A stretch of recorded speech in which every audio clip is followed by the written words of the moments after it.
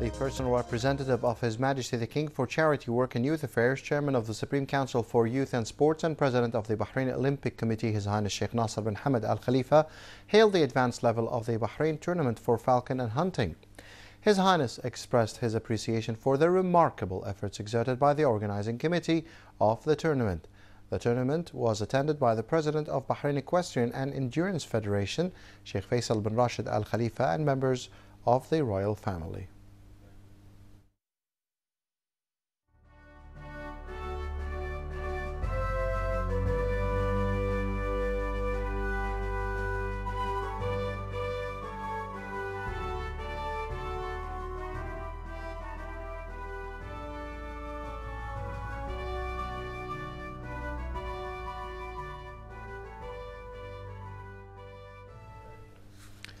The representative of His Majesty the King for Charity Works and Youth Affairs, Chairman of the Supreme Council for Youth and Sports, and President of the Bahrain Olympic Committee, His Highness Sheikh Nasser bin Hamad Al Khalifa, deputized the first Deputy Chairman of the Supreme Council for Youth and Sports, President of Bahrain Athletics Association, His Highness Sheikh Khalid bin Hamad Al Khalifa, to attend the closing ceremony of the second edition of the Sheikh Nasser bin Hamad Al Khalifa Leadership Program. 23 Bahraini participants aged between 22 to 30 took part in the program organized by the Nasser bin Hamad Foundation.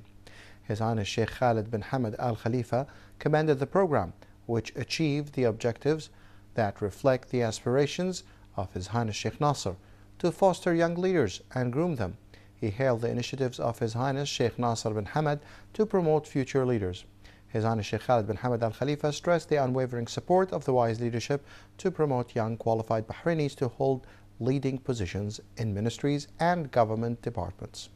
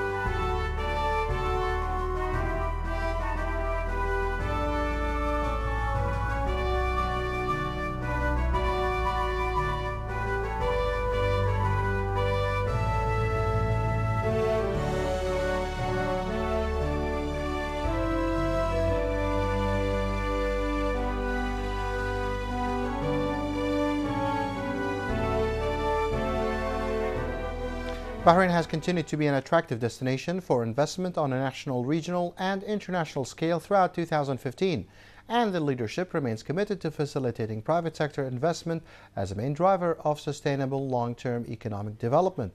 More details in this report with Daniela Deporto.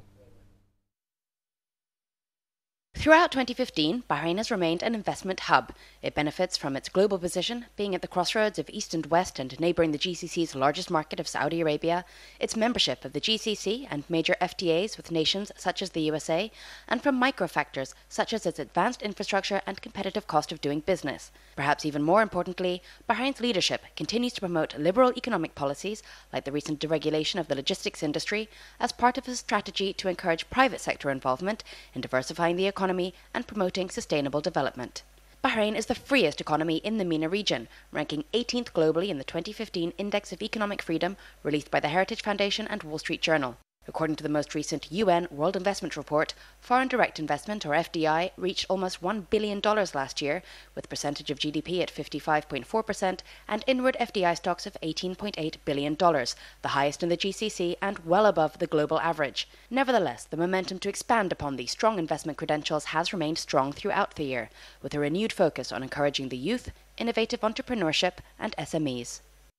We don't just want to look, focus on attracting the large companies.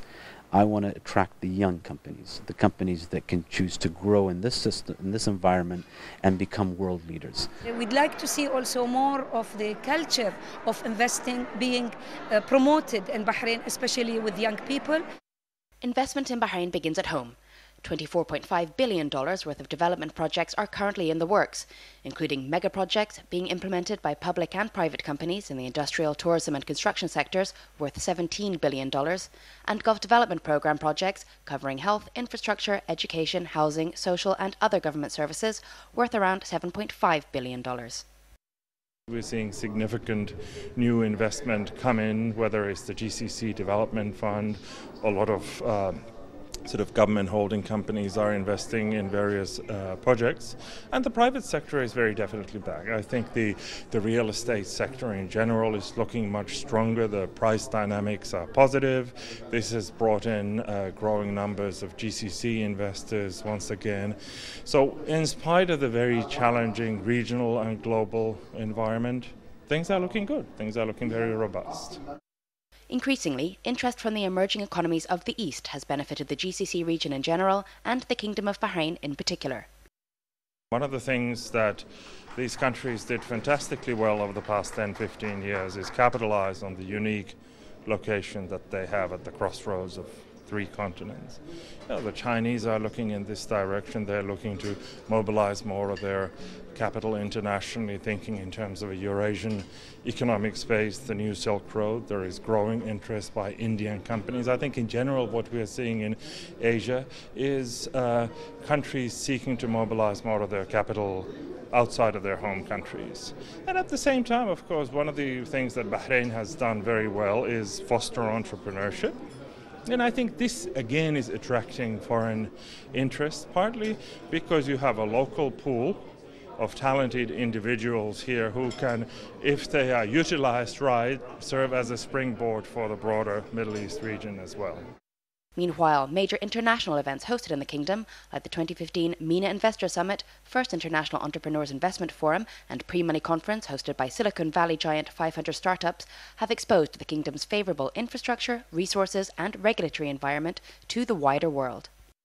Investors are going to be encouraged. If we can see people coming in from the US and Europe and beginning to say this area is interesting and we think there are interesting entrepreneurs and we're willing to raise funds to invest in them, then that must tell us something. That must tell us that there's opportunity here. And what better than the businessmen and the investors who are familiar with this area to actually participate as well? Ultimately, while Bahrain's investment climate has a lot to offer the world at large, it will be the kingdom's inhabitants who reap the biggest rewards and reinvest them for ongoing prosperity. Reporting for Bahrain Television, I'm Danielle Deporto.